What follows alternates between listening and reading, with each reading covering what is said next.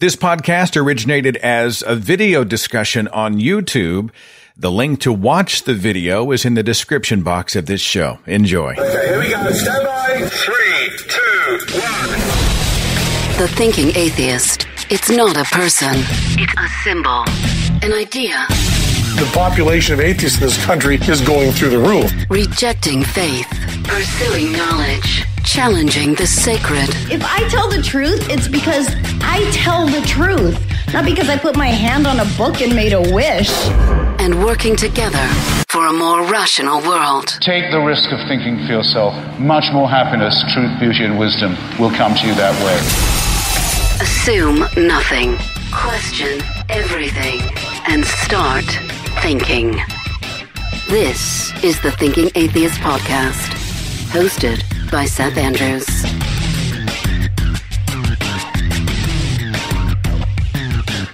I had the opportunity to meet activist and YouTuber Rachel Oates at the Faithless Forum in Dallas, Texas. And I knew immediately I wanted to have her on the broadcast. Rachel, it's good to have you, my friend. Good to be here. Thank you. You YouTube about a lot of different subjects. Specifically, what? Um, so a lot about kind of science, and I debunk a lot of bad science and pseudoscience. Um, I also talk a lot about like atheism and stuff, and tend to debunk sort of harmful religious ideologies and practices and teachings and that kind of stuff. Um, I tend to kind of focus on the people behind the ideas, so it's less about the kind of arguments and more about how they impact real people. So I have a lot of like pro LGBT content, a lot of feminist content. Um, same time, it's just kind of all a little bit of fun, and um, I try and do a bit of everything really. You remind me a little bit of uh, Sarah Roxdale, who does kind of the same stuff. She does a lot of lifestyle type stuff and, Mm-hmm. and health and beauty, and then she also does like you know hardcore cults and getting into atheistic stuff. And it's Yeah. a weird meshing of cultures, so to speak. I, I like it though. Like it's all a big part of me. And some people kind of like see me at a first glance and they see like fancy makeup and like pretty clothes or whatever. And they're like, oh, well, you know, you can't take us seriously. And I'm like, no, screw that. I'm just as good as anyone else. I'm well educated. I know what I'm talking about. You don't have to give up like the feminine or the fluffy parts of you to talk about serious stuff and really make an impact. And, um, that's the thing that I t- kind of want to get across to a lot of my younger viewers because they always think that they have to kind of change themselves if they want to be taken seriously or whatever. And I'm like, no, be yourself. And if people can't accept parts of you, that's their problem. You just keep doing what you're doing. And yeah. Be an authentic person. I like that. Yeah. Uh, let me uh, start here the actual interview portion with two words. Those words are Kent Hovind. Uh, Kent Hovind is a young Earth creationist. He is also an ex-con. He did 10 years for tax evasion and obstructing federal authorities, I think, as they were investigating the tax evasion. Went into the pokey in 2007. He was released in 2017. His son, Eric, has been on the scene uh, kind of in his stead over the past decade. In fact, I've seen Eric Hovind show up at atheist events or outside them, and he's got his video crew and whatnot. now, Eric uh, Hovind is not as extreme, I don't think, as his father, Kent, who has some really wackadoodle ideas about the world. They called him Dr. Dino. Uh, he established back in 19, I'm sorry, back in 2001, the Dinosaur Adventureland in Pensacola. The slogan for the park is where dinosaurs and the Bible meet. And he sells books and videos and fossil replicas. Now he has no training whatsoever in paleontology. None. Zero. Zip. Nada. He has none. He got his doctorate from Patriot University in Colorado Springs. Now, if you go to Kent Hovind's wiki page, you will see a photograph of this university. It's essentially a single wide mobile home. And he got the doctorate via correspondence course, both his master's and his doctorate. So Dr. Dino's doctorate is hugely in question. And Yeah. it's interesting because when he got out of prison, he just sort of picked up right where he left off. Young Earth mm-hmm. creation and sort of debunking the atheist. And I saw that YouTube been having this online volley back and forth. Uh, did it start with you challenging something he had said? Um, yeah, so I got sent a PDF of one of his like little booklets called um, are you being brainwashed propaganda in science textbooks. And it's all about how science te- textbooks lying to kids and it's full of this terrible bad science. And he goes through i think it's something like 18 different lies that apparently textbooks are spouting and teaching kids. And he tries to debunk them. And mostly they're about evolution and some geology and some biology and stuff like that. Um, and so i read this book and i was like this is absolute crap. And i decided to, to like debunk it a bit and go through it page by page and be like okay this is what's wrong with this and i like fact checked his sources and his information and all this kind of stuff. Um, and he keeps making video responses to me and i keep ignoring them and he's getting really mad. I've noticed that if I Google search your name, his videos, he must be keywording the hell out of those videos because oh yeah. his are popping up. So. What i find really funny is um, he keeps like going back and watching videos of mine from like a year ago and he's trying to like dig up everything on me he can. And he like screenshots pictures of me from like my old videos where i'm like pulling stupid faces and then pastes them over my thumbnails and then puts them like into his videos. So he's like trying to get views off like making me look stupid and it's really bizarre. He's i think obsessed. it's just because yeah, but he doesn't have any good science to back up anything he's saying because his arguments haven't changed in the last 20 years. They don't update with science. So his ideas are all completely outdated. They were outdated when he first started spouting them, never mind now. Um, but he has nothing new to say, so all he can really do is, is resort to ad hominems and you know, try and make me feel bad about myself and my face and my accent. And he like mocked me for dyeing my hair and stuff. And I'm like, mate, just because you can't do science doesn't mean you have to mock my hair. I'm going to come back to that because you bring up a, a salient point. But there's a section on the Kent Hovind wiki page that I just have to read verbatim. If you'll be patient, everybody, I mm-hmm. just have to read his theory called the Hovind theory. Uh, it's- I'm sure he named it, right? It's the Hovind theory. Um, it's featured in the book Unmasking the False Religion of Evolution. It says dinosaurs and humans coexisted, and the Tyrannosaurus rex was a vegetarian prior to the fall of man. Kent Hovind expands upon the earliest 20th century vapor canopy concept of a protective shield that made the earth a relative paradise between the expulsion from paradise and Noah's flood. Okay, so between uh, Adam and Eve getting kicked out of the garden and Noah's flood, we had a vapor canopy apparently over the earth. The flood is expressed as a function of natural rather than miraculous processes.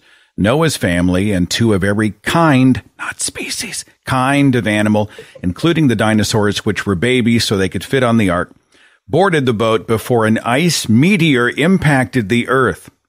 Fragments from the meteor caused planetary rings and impact craters on the moon and other solar system bodies. The remainder were drawn to the north and south poles by the Earth's magnetic field as cataclysmic snowfall, which buried the mammoths standing up. The ice on the poles cracked the Earth's crust, releasing the fountains of the deep, which, according to Hovind, caused an ice age, made the Earth wobble around, and that collapsed the vapor canopy that protected it. In the next few months of the flood, the dead animals and plants were buried. They became oil, coal, and fossils. The last months of the flood included geological instability when the plate shifted, and that formed the ocean basins and mountain ranges. Okay. So the bat shittery is strong with this one, uh, Rachel. It is a wacky out there. I mean, even for young earth creationism. What I find very interesting about him is that he always manages to have a little tiny grain of actual science in there, like not much, and it doesn't even have to be anything appropriate, but he always gets just something right. And then he's like, okay, well if I if I know this little bit and this is my conclusion, what do I have to make up to get there? And then he comes up with some crazy like weird logic that kind of somehow makes this like tiny tiny little bit of science like fit his creation agenda. And it's really bizarre because a lot of people will look at that at a glance and if they don't understand the actual science behind it, they'll think he's correct and being all technical and they're like, oh, well, he must know what he's talking about and just believe him. And that to me is one of the most dangerous things. I So- know that he uh, used to talk a lot about carbon dating and how it's so unreliable when used to date fossils. And of course, you're like, we don't use carbon dating on fossils because carbon dating is used on much younger items. Younger being, I guess that's the word I'm looking for, but you know, you, that's not Yeah. the correct dating method for the fossil. It doesn't make any sense. His whole argument, his whole premise is Yeah. false, you know? Yeah, he'll use kind of like weird anecdotes as well. Like he'll talk about Piltdown Man and be like, "Okay, well, it was it was a fraud. It was fake. It's been debunked. Therefore, all human like fossils that we found could be fake, and you know they're probably fake." And he tried to compare Lucy to Piltdown Man, and it was just so bizarre. And he completely like ignored all the corroborating evidence we have for um, uh, what was Lucy again? She was Australopithecus afarensis, I think. And, you know, we don't just have that one very kind of like, not complete, but very full fossil. We have other bits of evidence as well. Like we have fossils of footprints that fit what that species of, um, I guess if you want to call it human or ape or whatever. Like we have fossils of footprints that fit what their foot size and step and gait and walking style would have been like. And we can date those back to the same age as the fossil. So we kind of like have all this evidence and he just ignores it. And he's like, no, no, this other one was a hoax. Therefore, this could be a hoax. And it's really bizarre. It's really, really bizarre. It's interesting to watch my buddy Aron Ra when it comes to Kent Hovind. You know, Aron's big and Oh, I love. Aron. Yeah. And you know, you can Aron's you can see that Mm-hmm. vein in his forehead pop out, and he's I think he Yeah. one day will spontaneously combust. Let's switch gears for just a second to Rachel Oates. Mm-hmm. You released a video about Michael Pearl. He is a, uh Baptist Yes. fundamentalist evangelist and author. He and his wife Debbie are authors of a hugely controversial book called To Train Up a Child. You uh, produced a video about this. You called it Michael Pearl's Guide to Abusing Children. You want to explain this? Um, yeah, so it is probably one of the most horrific books I've ever read, and it literally broke my heart to read it. It's been linked to the deaths of, I think, around seven children. Uh, they were all foster children or adopted children, and the parents used the techniques that Michael and Debbie Pearl outlined in that book, and it led to the deaths of these seven children. And in it, he outlines things like um, so if your newborn baby is biting while breastfeeding, pull their hair, yank their head back, hurt them until they stop. Um, he outlines what kind of stick you should use to beat your child at various ages. For example, if they're under six months, use a willow branch. If they're over six months, you can use something bigger and thicker. Um, if they're over seven, you can use an acrylic piece of pipe.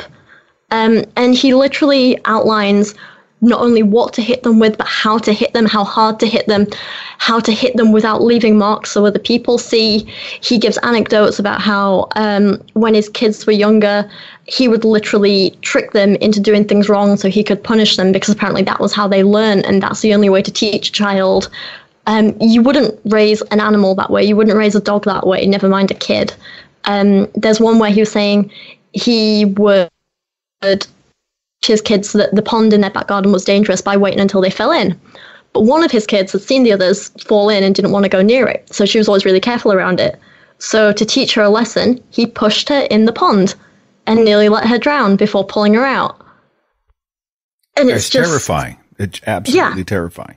So It's he's con- condi- we're going to. Mm-hmm. toughen them up. It's conditioned response. It's spare the rod, spoil the child in the name of God. Yeah. Oh, yeah. And they use biblical quotes to try and back everything up. It's disturbing. And that's not their only book. When you put that alongside the other books they've written, like there's one called, um, it's something about stopping them jumping ship. And it's basically like how to indoctrinate your child from a young age so that once they're old enough to leave the family, they won't leave and they won't leave the church. It's literally a guide to indoctrination. Uh, there's another one that his wife Debbie has written called Created to Be His Helpmeet, which is how I found Michael and Debbie in the first place. And it's basically all about biblical submission and how women owe it to their husbands to behave a certain way and basically act like they're slaves. And again, just like some of the things she talks about are ridiculous. And um, it's kind of disturbing because it doesn't seem like they have a family. It seems like they have Michael and then a bunch of his slaves. And that's it. And he just controls everyone and like what he says goes. People aren't allowed to think for themselves, and he wants everyone to have a family like that. And what's terrifying is not only are they these books, but they're teaching these things to other people and other families. And they have families who come to them and say, Look, I'm having this problem with my kid, I'm having this problem with my kid, I'm having this problem with my husband, my wife. And they literally like get involved in these other people's lives and give this terrible advice. And a lot of it involves kids being hurt. And it's terrifying and disturbing and disgusting. You talked a little bit about uh, Debbie Pearl, and I will get to the switchboard Mm-hmm. here in a minute. She reminds me of the transformed wife. It's Yes. funny. I had repeated, Very, uh, very similar. retweeted something. I don't know. She had some back assward uh, tweet Mm-hmm. about submission and how their body, your bodies are made for childbearing, and so you should Yeah. essentially check out of of any sort of uh, professional or I know anything outside the home check out because you know you were so beautifully made to be able to just essentially be a baby factory. And I responded Yeah. uh, like the transformed wife would respond. And I said, look, ladies, God made your feet so small so you could stand closer to the sink. And it got like, you know, I don't know how many retweets, but that's the mindset, the transformed wife. And you've, you've tackled this one as well, right? Yes, quite a lot. She recently did um, a video on why birth control is awful and no one should ever use it ever because apparently we're ruining our bodies and everything. And um, women, we shouldn't get an education. We shouldn't um, get in any kind of debt. We should just be like getting married as soon as possible and popping out babies as soon as possible. According to Lori, the transformed wife, there is no reason for women to be on birth control ever, even if it's for health reasons and medical reasons and stuff like that. She's like, no, there's no no need for it. Um, and she's like, and in the rare cases where women have had a few kids and it's like dangerous for them to have any more for like health reasons or whatever, she says if that's the case, just get your tubes tied. You don't need to be on birth control. Easy So for it's like- her to say that. Yeah. yeah. She's just swinging from like one extreme to the other. It's so bizarre and it's ridiculous. And she just doesn't want women to have women to have any kind of freedom or independence or to think for themselves. She thinks women ha- having a terrible thing. She thinks women should be having six, seven, eight kids. She not only like mocks women like me who don't want kids, but she says that women who only have one or two kids are also doing something wrong. So she's basically critical of everyone. We did a uh, broadcast, I think it was last year. Uh, I forget what I named the uh, main title, but the subtitle was The Sin of Being Child Free. You and I have this in common. We, I've always felt that if you're going to have a child, it needs to be the desire of your heart and Yeah. not societal expectation or guilt or because the Bible tells me so. And so I always allowed for, uh, in my then my first wife, we always allowed for, well, you know, if that time comes, we'll make the decision to start a family. But until it comes, no. And everybody was like, and you probably heard some of this. Oh, you'll change your mind one of these days. Yeah. They're just, you're going to ha- get baby fever and it's just going to happen. And then five, eight, 10, 15 years passes and they start to look at you with this raised eyebrow, like, like you're the problem. Like, Yeah. do you hate children? Do you, uh, what's the matter with you? Are you broken? Are you that selfish? Have you had some of those conversations? Oh, constantly, yeah. The minute I got in a serious relationship, my sister in law was like, So when are you having kids? When is Isaac gonna, my nephew, like, when is he gonna have a cousin? He really wants a cousin. Can you give him a cousin? I'm like, No. I was like 22 at the time, and I was like, No. Like, I'm not sure I ever want kids. And then, um, with the partner I was with, we were like, okay, well, we'll give it like 10 years. And then if it happens, it happens. But the older I got, the more I was like, and like, you know, I was getting closer to 30 and I still am.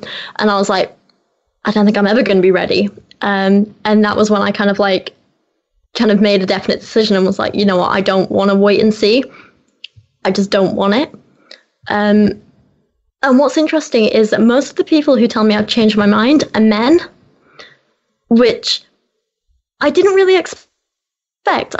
Women who were kind of judging me a little bit and being like, oh, well, you know, I want to be a mother, so surely you want to be a mother. But surprisingly, women, or at least the women I know, are more likely to get it.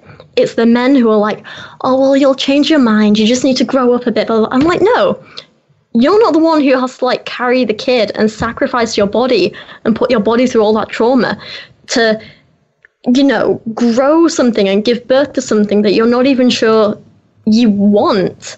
Like it's such a big responsibility. I get it's a big responsibility for men as well because, you know, they're going to have to look after it for 18 years. But I feel like it's double that for women because That's what Being women do, preg- right? I mean, yeah, in some being cultures. pregnant is such a terrifying thing, and I don't think I'm strong enough to do it. Um, yeah, I, I feel like I'm rambling a bit. I'm not, Not- sure where I was going with that. Sorry. Mm-hmm. It's, it's, an, it's an interesting. I mean, I encourage people to go back and, and w listen to the show. Um, it, quite often, and the reason we dealt with it here on this broadcast is not just because it interests me as the host, but because it's often a biblical edict. You are commanded. And of course, the women being subservient to the man, the man's the head of the house. You know, you've seen that umbrella graphic, right? There's God as the head of man and man as the head of woman. And, and uh, then there are the children and the children are sort of an inevitability. Like, well, of course you're going to go out and have children. People telling you who you are. They tell you what your reproductive choices should be. They overstep these boundaries in the name of religion. So I think it is relevant. Uh, you have time to uh, take a few phone calls? yeah, sure. All right, let's go to 806 on the switchboard. You're on the Thinking Atheist podcast with guest Rachel Oates. Who's this? Oh, um, it's Shy. Shy, thanks for calling. Do you have a comment or question for Rachel? Yeah, it's kind of weird that you mentioned the Michael Pearl's book on abusing kids because that was the first video from Rachel Oates that I watched. Oh, that's amazing. That was quite a while ago. So you've been around for a while. A little while, yeah. I was at work and I was looking. I was listening at breakdowns of horror movies, and yours was in the recommended. And I was like, this doesn't sound like whatever. I'll watch it. Wait, oh, hang on, hold on. Hold, wait, wait, wait, wait, hang on. How do we get from Michael that. Pearl to horror movies in relation to Rachel? Oh, I don't know. They're very similar. Have you read the book? Yeah, no, it's so weird. Um, okay, so you stumbled upon her work when it was uh, she was talking about Michael Pearl and the book To Train Up a Child. Anything else for us? Um, yeah, and I agree with you, Rachel, about the whole not wanting kids thing. I've been getting pushed for it when I first started going out with my, my now husband, and I'm only 23. And I've got classmates who have two kids already, and like, so are you gonna have any? Oh, oh I don't want any. And if that changes, you're Well, allowing for that, but it's still your choice, right? So Yeah, and I just told them, oh, you know, I've got a, I've got a reptile that's gonna be that's gonna live to be 30. I think I'll have to take care of him. oh, I love that. Awesome. Well, I appreciate your call very much. Thank you. Thank no you. problem. You know, I've uh, we were always we're always. I know you. Tell me what your dog's name is, Rachel. Kyra, Kyra's precious. Mm-hmm. Uh, what kind of dog is Kyra? uh, Staffordshire Bull Terrier. Oh my God! Oh, I love her to bits. What she is the best girl. I had no idea about staffies when I was looking to adopt, but um, they like uh, when I went to Battersea Dogs Home, they like do an interview with you and match your personality with the dog's personality, and they're like, "We've got this dog that don't know what you're gonna think of her, but just meet her." And like the minute I did, I was like, "This is my dog." Like me and her just clicked, and we like immediately chose each other. And the minute she kind of came into the room, she ran straight towards me, jumped on my knee, was like in my arms, and I was just like, "This is my dog," and she was like, "This is my person." There and was music. There was harps. There was angel song. was yes, perfect. it was beautiful. Yeah. Well, you uh, you're like me. I'm post animal photos every five minutes. I'm sure, and you can tell the audience Oh God, splits. Like 85 percent of the people are like, post more photos of Linus, and Mm-hmm. the other 15 percent are like, Jesus Christ, give us a break with the dog photos. Yeah. Go figure. So she's been like um, jumping into my re- videos recently because I'll get halfway through filming and she's like, okay, I'm ready for a cuddle now. So she'll come and sit on my knee. And like half my comments are like, oh my God, more Kyra. We need more Kyra. Best bit of the video. And then you'll always get one grumpy person that's like, couldn't concentrate on anything you said with that dog on your knee.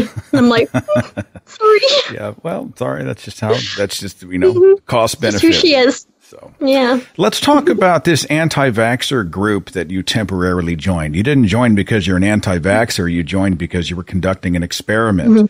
Let's talk about that. What happened?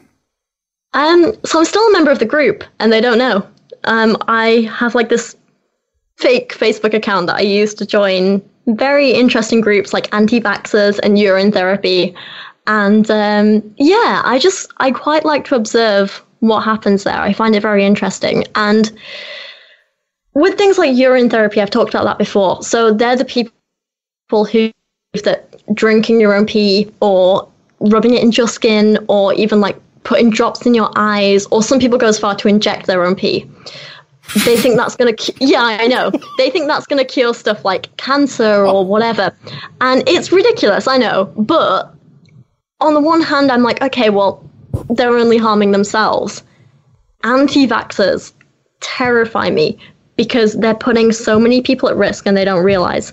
And I have a six-month-old niece, and like what they don't realize is that it's not just their own kids they're putting at risk by not vaccinating it's people like my niece. And that's why i want to kind of like calm them out sorry call them out and look at their harmful like practices and thoughts and be like no this is the science behind it. This is why you're wrong. And when people like go on about so a lot of the things they complain about in these groups are people who like don't want their unvaccinated kids around and they're like it's discrimination it's this it's this. And i'm like no they just don't want their kids to die and i think it's very important that we take a look at why anti-vaxxers think this way and understand them and their thought patterns so that we can understand how to get through to them so they stop endangering people and children Now that's interesting. Can you believe in the 21st century that we are dealing with people who think the earth is flat and that vaccines cause autism, et cetera, et cetera? You know? Yeah, it's it's it's an interesting one and it's a terrifying one. Um, but I do find it interesting. So I did a video, probably going back about eighteen months now, on why some people are flat earthers, and it's this idea of kind of outsider scientists and people who are questioning things. They are skeptical. And they do want to understand the science and they're trying to figure things out for themselves. They don't just want to take everything at face value. It's just that somewhere along the lines, something goes wrong and they end up at the wrong conclusions. You know, they don't, these aren't necessarily people who are crazy, they're skeptics. Just something goes wrong. And I think that's skeptical is a fantastic thing to have. We just need to make sure that we're educating people from a young age to be scientifically literate. We need to teach them not only what to think, but how to think. And I think that's something that the UK education system is starting to do better. This idea of teaching someone how to think, teaching someone the scientific method and processes and how things work. Whereas I think countries like America have more of an issue with just teaching regurgitation of facts, which is why you get people who are skeptical who want to say, like, no, how did we come to these answers? Why do we think this? But because they don't know kind of how to critically assess that. They don't necessarily know how to think so much. That's why we end up with anti vaxxers and flat earthers and people coming to the wrong conclusions. So I think if we want to get rid of it, we just education from a young age, better science education. And when you see a lot of religious fundamentalists who are pulling their kids out of school and homeschooling and just they are teaching them these regurgitations of facts and stuff from the Bible and using outdated books and resources and using resources from people like Kent Hovind and Ken Ham. That's the problem. You know, it's all a big cyclical mess. Well, you're right about You the? United States. Education in this country is geared around they teach you how to pass a test. It's Yeah. usually memorization. You pass the test, you forget. I mean, a great example is foreign language classes. You can take three years of Spanish in high school and then you're asked at the Mm-hmm. age of 22 to say something in Spanish and you can only remember a smattering of a few words. You're not communicating, but you've had three years of a foreign language. It's because Yeah. you were taking the test, you know. It's also interesting that you talk about skepticism and how it can, it can sometimes go into overdrive mode and be counterproductive. Those people who become so quote unquote skeptical that they then resist or reject outright the known facts and the actual data. That's how we get 9-11 truthers, uh, Yep. flat earthers, et cetera. You know, someone is so skeptical, they outsmart themselves. And I'm glad to hear a circle Yeah. drawn around that, you know, because that's, that's, you know, being a skeptic also means we have to be skeptical of our, our own biases and our own flaws. And, you know, at some point you do have to trust the scientific method, I would think. yeah. But, uh, But I think in order to trust it, you need to understand what it is, and not enough schools go into teaching what it is. Um, this is going to sound stupid, but I'd always heard of the scientific method, but I didn't really know what it was until I got to my GCSEs. And then it kind of hit me, and I was like, wait, what actually is this? And I had to go away and kind of research it, research it in my own time and kind of thoroughly understand the process and why we do certain things. Because until then, it had just been taught to me as kind of like, okay, well, these people did an experiment and it showed this. I didn't really understand why we had to do certain things and why we had certain variables and all this kind of stuff. Um, so I find that kind of interesting. Short break. When I come right back, we're going to talk with Rachel Oates about The Little Mermaid, the dark, dark history of The Little Mermaid. Also, we're going to get into the F word, feminism and cancel culture, this weird environment, especially online in which we live, where one mistake might ruin your life. Rachel's got some opinions about this. We're going to get into it after this. Hang on.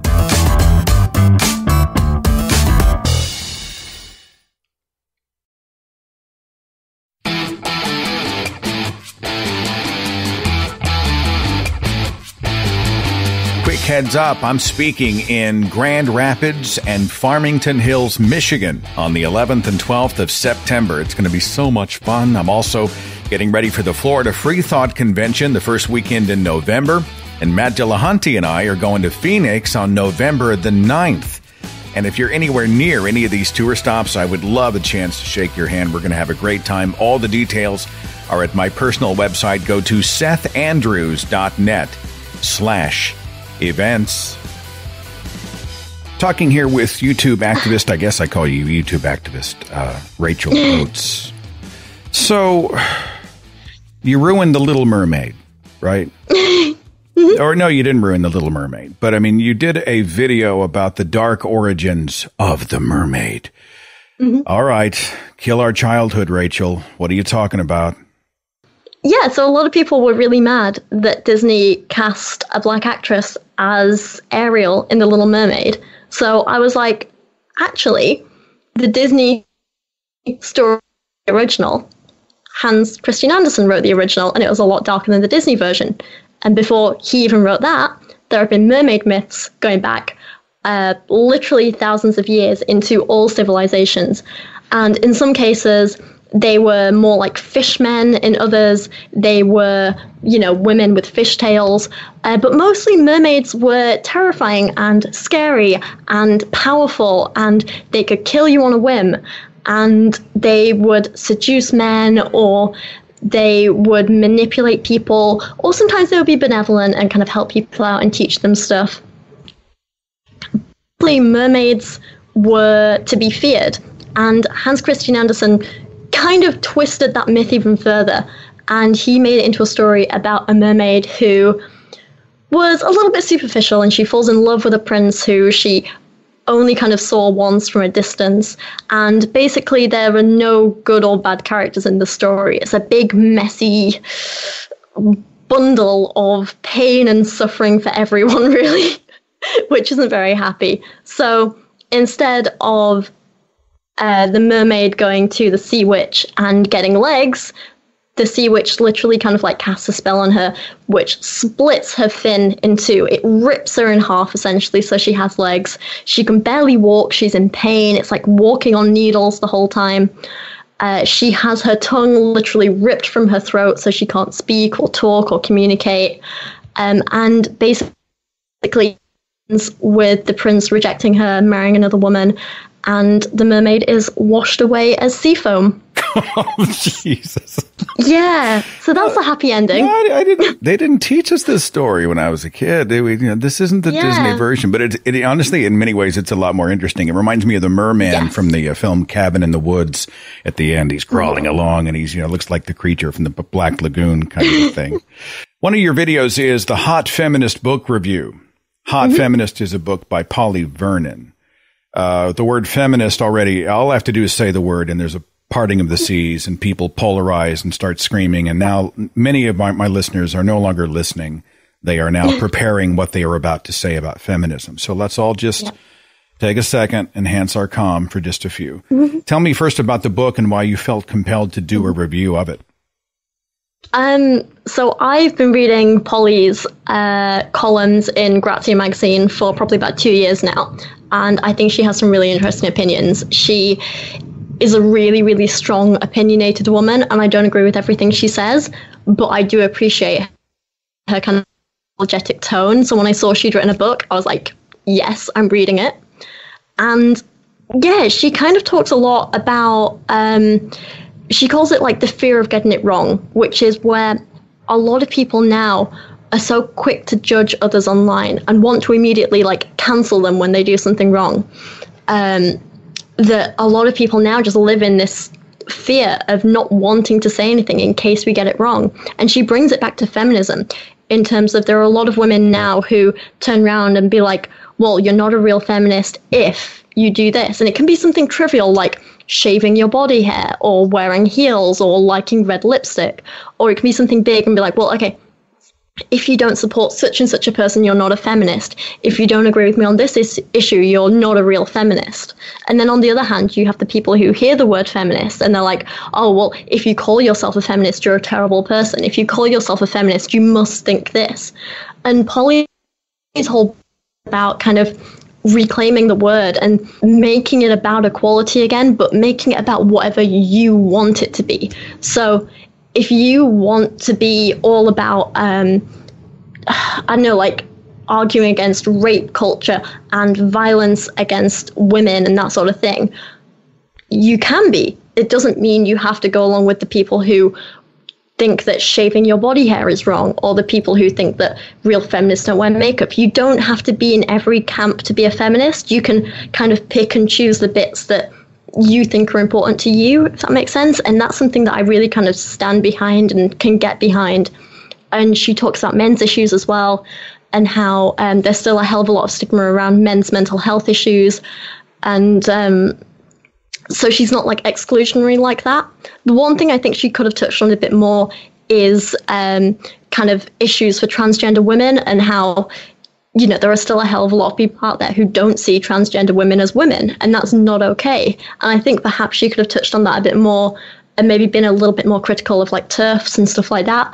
But on the whole i thought it was a pretty like solid book it's probably more appropriate now than when she wrote it about what was it three years ago it came out? I think it's getting more relevant with time. And she got a hell of a lot of backlash when it first came out. And, sorry that's my air freshener going off? Um, sorry it always, it's an automatic one it always scares me. Um, yeah she got a hell of a lot of backlash when the book first came out. And people were really mad at her for it because you know it's a provocative title. And she's essentially calling out everyone if that makes sense Well, you know, And- we live in a binary culture. You know, it's you are. Yeah. If you're only ninety eight percent with me, you're against me in the eyes of many. yeah. And yeah, um, and, and sh- she was basically saying, "Look, I could be like fifty percent in agreement with you, or seventy percent in agreement with you, or ninety-eight percent in agreement with you. It doesn't matter. What matters is that we focus on the things that we agree on, and we're about the things we disagree on. And I think that's something that a lot of people are forgetting now. And the whole drama we've had recently around rationality rules and that sort of stuff, I, I don't know if you want to go into that, but I think that's very. Um, it, it's a perfect example of this either like you're with us or against us thing. It's like a certain group of YouTubers are basically saying if you don't agree with us on 100% of these issues, you must be against us. And that's just not how the world works we can say, okay, I agree with you on 99% of stuff, but on this 1%, I'm not sure, or I disagree. And they seem to be focusing on that 1% instead of the 99%. And Polly's book and kind of the message I'm trying to get across in general with a lot of my vid- videos is that I want to focus on building communities where people agree with each other and build each other up. And when there is disagreement, it's not about saying, okay, well, I disagree with you on this or I didn't like this thing, cancel you. It's not about that. It's about saying, okay, well, I disagree with you on this, or maybe you got this wrong. Here's how I educate you. Here's how we make this better. Here's how we discuss things. And um, yeah, I think more people maybe need to focus on that. And it's a tough thing to do, but I um, am giving a speech around the country that talks about this very issue. Sarah Haider had a, a term that I just love about those who will comb through your lifetime of tweets to try to Mm-hmm. find some mistake that you've made. She calls it an offense archaeologist. And I thought, yeah, that's that's That's brilliant. And there's a lot of people who are offense archaeologists. You know, they're waiting for that gotcha. What Mm-hmm. I find is that they are eager to assign ill intent, meaning that there's no good faith thinking that, well, you know, he was just wrong or Mm-hmm. thought he was doing the right thing, but screwed up or she screwed up or just made a mistake or didn't know what they were saying or misspoke and meant something else. You know, we seem to Mm-hmm. see an absence of good faith in this call out culture that's uh, this cancel Yeah. culture, as you say. And uh, that's one of the things that I'm I'm really desperate to see reintroduced to discussions, whether we're talking to atheists, whether we're talking to religious people in and out of the LGBTQ community, et cetera, to not Mm-hmm. immediately assume or assign some sort of I don't know villainhood to the person Yes. that we're dealing with, right? Exactly, yeah. So many times now, it, it is like you say, people want a villain, they want a bad guy. And the truth is, like, in the real world, there aren't really villains in general. Like, even the worst people have done something good at some point. And I think the most important thing to do is to try and focus on the good things and the things we have in common and building people up. And that's not to say just ignore everything bad, but when someone does screw up, educate them you know? Don't just throw them out and tell them their lives over. Don't just say your career's over because you did this one thing. I think everyone can better and everyone should be working to get better all the time and we can't do that alone we have to help each other out and help everyone grow and yeah um, i'm doing a video soon with uh, ocean he's another youtuber he's a polytheist and a lot of people are a little bit confused because they're like, well, why do you want a polytheist on your channel? You're an atheist. And I'm like, well, yeah, that's the thing. We have this big, massive, fundamental difference in our beliefs, but we also have a hell of a lot of things in common. We both like the idea of building community. We both share a lot of the same values. We're both very like pro LGBT stuff. Um, and we we share a lot of the same interests and things like that. And that's why I want to have him on my channel and do a video with him and sit down and have a conversation about this kind of stuff to show that even when you have big fundamental differences, you can still have shared goals and things in common. And um, hopefully, it's going to kind of like help bring the kind of different communities on YouTube together a little bit more. And uh, it should be fun. And also, Ocean's just a really nice guy. Uh, just a few more minutes with Rachel Oates. You know, when people come after me, it doesn't happen as much on my channel as some of the other activists, male activists. When we say something that they don't like, we're talking about whatever. Uh, they'll come after me and say, you're an idiot.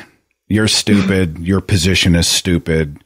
Uh, it's usually about the idea or the whole person.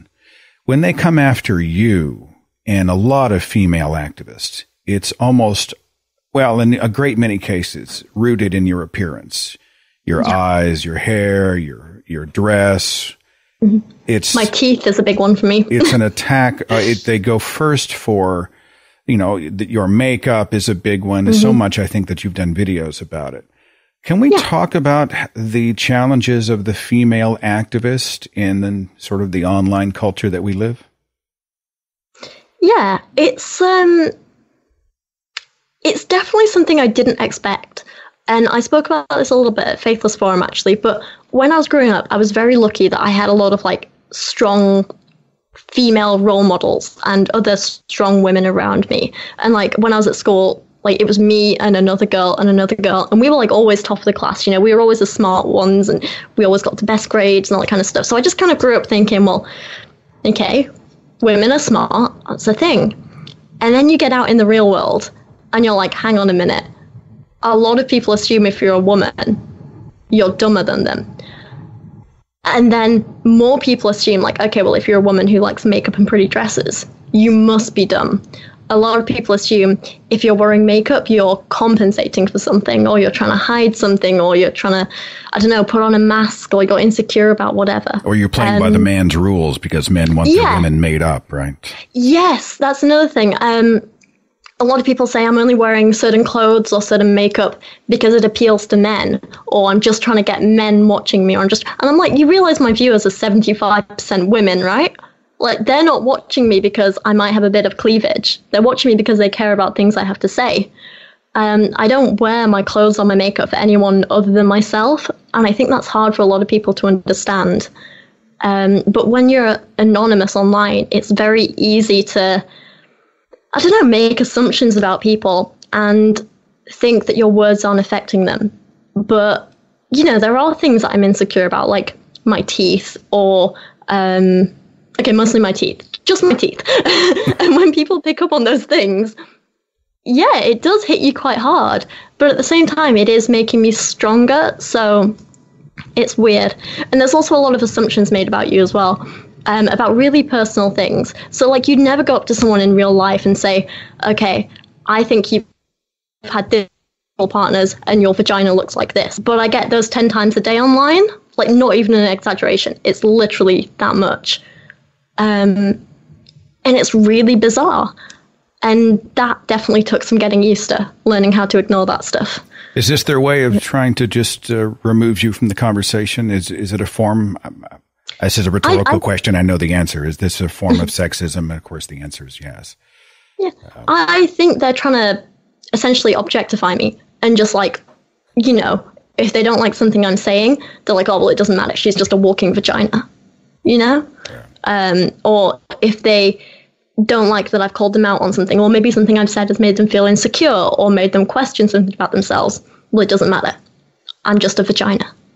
You know, like my arguments shouldn't be taken seriously because vagina. Um, and obviously that's stupid, but that says a lot more about them than it does about me. Do you have any thoughts on sexism in the twentieth, twenty first century? I mean, you know, you have um, the patriarchy, those types of terms. I don't know. Do you want to go down that rabbit hole? Do you have any thoughts? I, I'm yeah, we can do. Um, I definitely would call myself more of a liberal feminist than a radical feminist.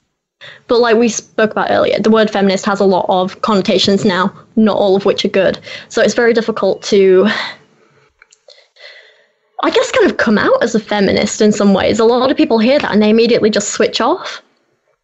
I think someone like me is very, very lucky in where I live and the rights I have. And if the worst I'm getting from the patriarchy, if you want to call it that, is that some people will insult my appearance online, that's absolutely fine. Like, I can deal with that. I can man up. I can get over it.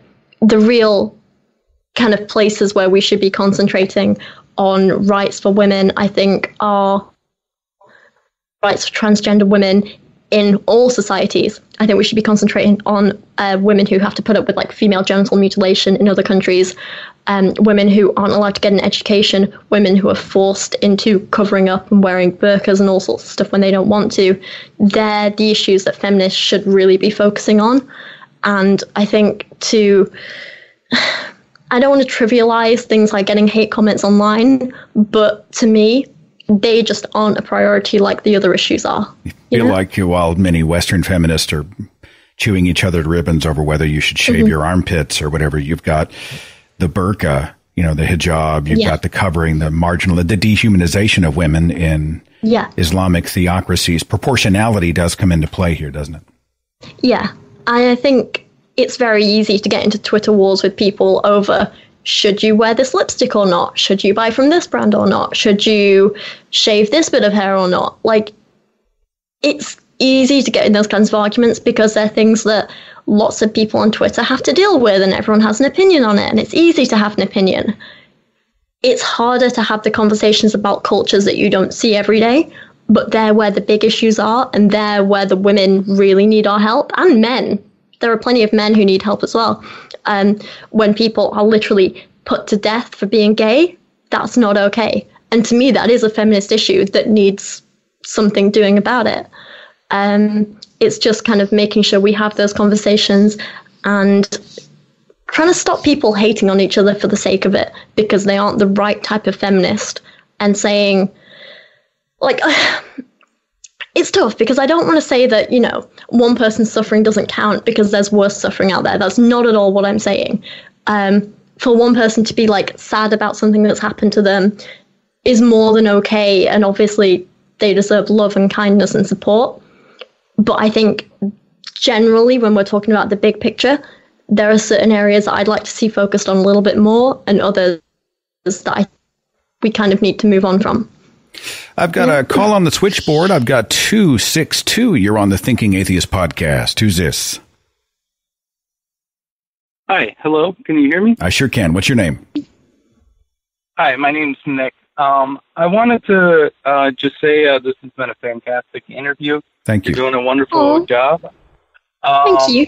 I wanted to piggyback off of um, what you said earlier about skepticism and uh, the anti-vax movement and such. Um, well, whenever somebody uh, wants to present uh, argument against science, they have to do several things. But uh, one of two things they can do is either present counter evidence, um, which there isn't any counter evidence against uh, vaccines or anything like that, and they can present uh, why they think there's a flaw in the study. Um, and this ties back to what you said about the scientific method. People are ignorant of it; they don't realize how it works, and so um, when somebody presents a scientific study, you'll find a lot of people, especially online, just say, "Oh, that's bunk. That's dumb." and that's that's not really an argument against it. Um, I've pressed people on presenting why they think it's it's dumb. Why do you think this uh, this is false? And they have no evidence to back it up as to why they think that. Um, more more often than not, um, a lot of people are just brought up in a culture of, of ignorance and uh, they they kind of go with the the wave of things, uh, especially online. Um, you know, with the internet, with false information spreading, a lot of people just get caught up in this this wave of ignorance without actually investigating anything, without actually doing the work. And um, so, um, in my experience and from what I know, um, if you actually want to um, counter something that's scientific, you actually have to explain why there's a flaw in the study, or you have to present counter evidence that puts this other study into question. Um, and there's other method, methods as well, but um, I just wanted to, to piggyback off that. So you're saying that, uh, looking them in the eye and saying that's the stupidest thing I've ever heard is probably not the best way to change their mind. Is that what you're saying? No, no. Okay. Um, people are going to double down more often than not. Um, there was a there was a neurobiological study where they actually showed when um, people were presented counter evidence to their political beliefs, their brains at, actually changed to cleave onto their current beliefs. So people people are going to double down when you look at them look at them in the eye and say you're an idiot, you're dumb, you're stupid um, more you, it's it's a line of communication. You have to be able to not only be understanding, say you know, and, and sh- but showing compassion, um, Yeah. and and be understanding in your form of communication. You have a gentle approach will often go a longer ways than a harsh approach. Um, Well, I like this and, guy. and I think Yeah, He's talking. I completely language, agree there. so. Yeah. There there's there's room there's a little bit of room um, for parody and things like that because I know a lot of atheists will use parody as jokes and things like that and and that's fine. Comedy's important but if you're having a serious discussion if you really want to change somebody's mind you actually have to go to the heart of the matter and you have you, you have to see people as people. Um, and more often than not people don't see ideas separated from people. And so ideas are like babies you know we we kind of cater to them. So when people actually cater to these ideas they hold them near and dear. And so if you tell these if you tell somebody your ideas are dumb they're going to take it extremely personal. So you have to keep that in mind that these ideas are like babies to them. They come from them. They hold them personal. Yeah. these are their beliefs. And I think with atheists or um, like with atheists, they we don't have any sacred cows necessarily. We don't we don't we think ideas should be challenged. We think ideas should be trampled on if necessary. Um, but other people, such as uh, Christians or you know Muslims or whatever, they they hold these ideas as sacred. So if you attack them because in your mind these aren't sacred, but to them it is, it's gonna it's going to hurt them. They're going to take offense to it. They're not going to be like, oh, you know what? You called me an idiot. I'm I'm dumb. I can't believe I thought of that. You're right. No, they're they're going to be offended and double down. Yeah, I get Um, that. So you know, if you walk up to if. Rachel walks up to someone and says, "So why do you drink your own pee?" What health benefit does that bring? What demonstrable health benefit does the what would you call it? Ur- urine what? Urine therapy. Shit. Urine Yeah, therapy is what they call it. Rather than say that's the stupidest thing I've ever heard, perhaps getting them to explain and defend where they're at from a position of even empathy, not empathy for the idea, but empathy for the person who is a victim of a bad Yeah. idea. And I think, you know, you speak to a lot of good stuff. The backfire effect is, it's Mm-hmm. real. And I, you know, if you'd come to me when I was a believer and said, you're an idiot for believing in God, I'd have doubled down just to show you. I wouldn't Yeah. have felt safe. I think, you know, people A- a change big- their minds from a position of safety. And if they feel, you know, Yeah. sort of mental, mentally like they're being attacked, they'll double down. Go ahead, Rachel. I'm Yeah. sorry. That's okay. Um, I was going to say, I think a big thing you have to remember when it comes to things like anti vax is that a lot of the people are parents who care about their kid and they're worried about the safety of their kid.